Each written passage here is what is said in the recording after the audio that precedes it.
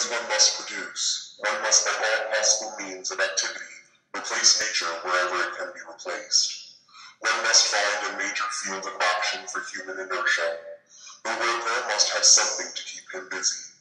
New fields of activity must be created, in which we shall see at last the reign of all the fake manufactured products, of all the vile synthetic substitutes, in which beautiful, real nature has no part and must give way finally and shamefully before all the victorious substitute products in which the sperm of all the artificial insemination factories will make a miracle in order to produce armies and battleships.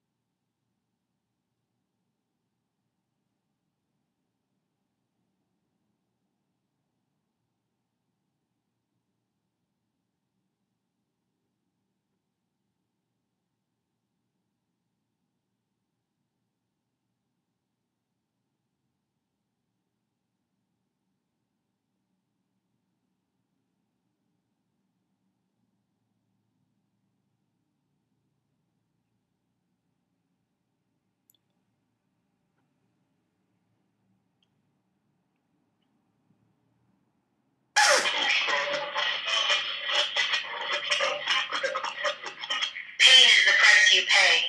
Beautiful things never last long.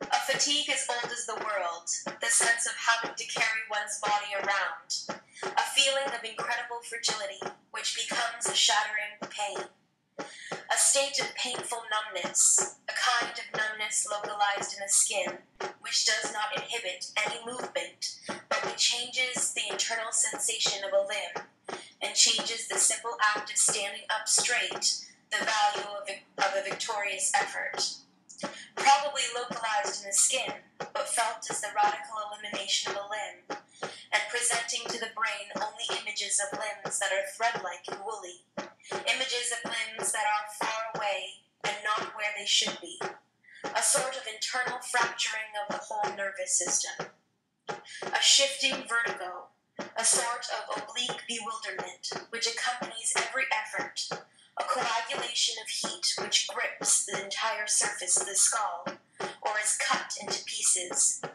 shifting patches of heat. It isn't easy to accept that suffering can also be beautiful. It's difficult. It's something you can only understand if you dig deeply into yourself.